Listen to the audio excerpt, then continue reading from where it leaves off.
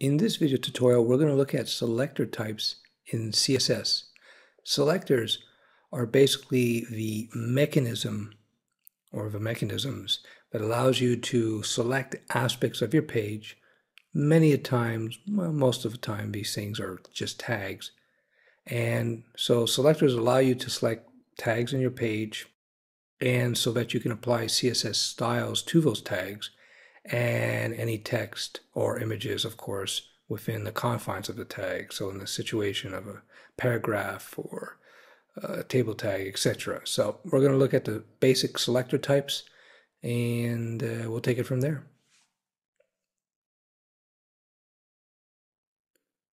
CSS has many selector types and with each new specification of CSS, there's CSS 1, 2, and 3, and so on, there are more and more interesting selector types.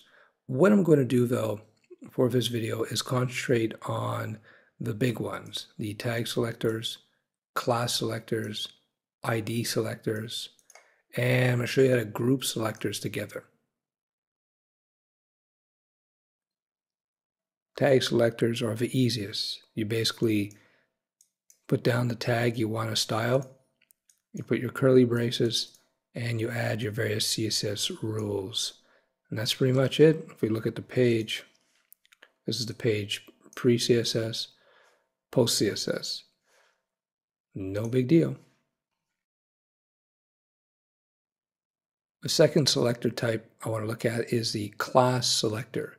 The class selector basically allows you to create a, a user-defined CSS rule. So I'll just create a name. So I'll all classes start with the period and I'll say uh, I'll call it bold. So then I can go text uh, text uh, transform. I'll go uppercase and I'll go font style normal and then font size of nah see which one we want. Font variant I guess yeah. We'll hit bold since it's called bold. So now that we have this particular class we can apply it to any element in our page. So we could uh, oh let's make this one bold here. So I go here. Now I'm going to say Dreamweaver really makes this uh, easy for us. There we go. So I applied the class bold to this particular paragraph. And when I refresh, it's actually this item right here. So it made it bold.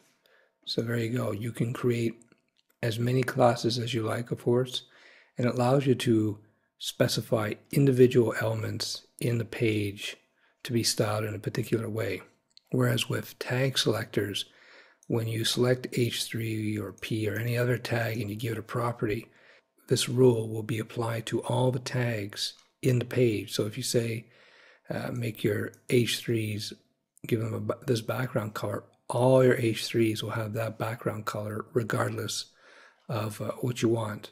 But if you want to specify that particular H3s will have a certain background color, that's where you might create a class that does that.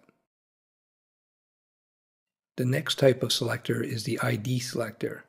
Now, an ID is pretty much like a class, except the assumption is that there's only one element in the entire page, an element probably being a tag. There's only one thing in the entire page that's actually, that will have that ID.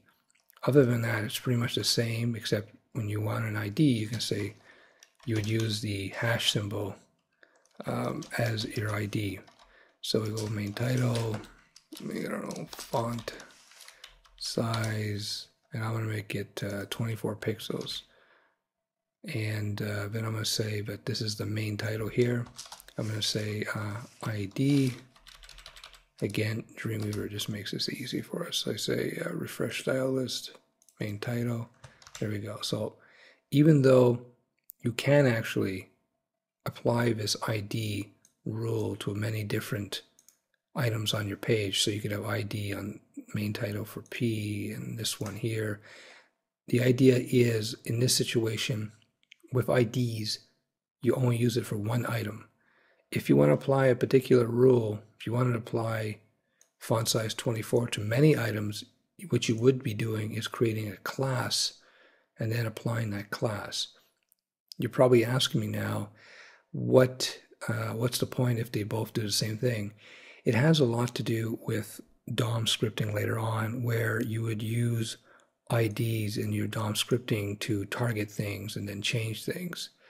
So um, it's a little loose and wild in that it's up to you to make sure that you uh, that you do this properly, but uh, so that you know.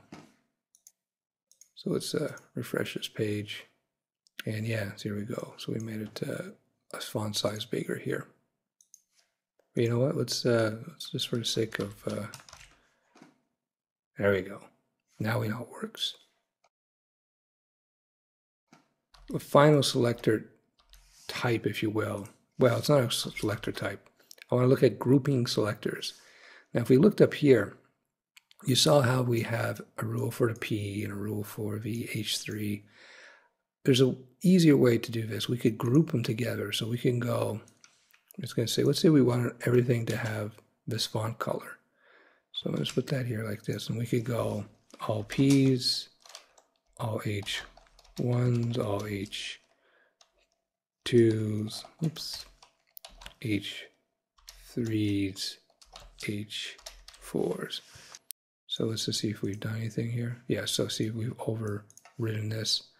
There you go. So you see how I've applied one style rule to many different selectors, in this case, tag selectors, very easily right here. Let's change this up a little. Go like this. We'll say our headings will have a color of uh, whatever 960 is. And we're going to say it has a border, border, let's say border. And we're going to say it's thin, it's uh, blue, and it's uh, solid. This is going to look very ugly, but yeah, we'll see what we'll see what happens here. There we go. So we have our uh, our blue border. Of course, this has got the this aqua green color here. Why is that? Because main title? No, no, it's because of uh, yeah, yeah, it's because the H3. So we're gonna change this. We'll use, you know what? We'll use a little inheritance, and we're gonna say background color. I'm sneaking in something here. Even though up here we said that the background color for the H3 would be this uh, ugly green here. I've overridden it, even though it's in a group selector here, I've overridden it down here with uh, white, and that's why that turned white. I hope this makes sense. And that's because, of course, the way the cascade works, top to bottom, right? Because this is stacked below this thing, this gets processed last, so it overrides anything up here. As I said earlier, there are different selector types that I haven't covered here in uh, CSS, and it really comes down to the specification in that certain browsers will support, well, when I'm talking about specification, there's like, you know, they came up with CSS, and they came up with CSS2, and then CSS3. And at this point in time, there are a lot of selector types that work in certain browsers but don't work in others. So I'm just concentrating here on the main selector types that you're going to be using probably all the time. There are some others perhaps that will work in most browsers, but I find personally that it's rare that I use them.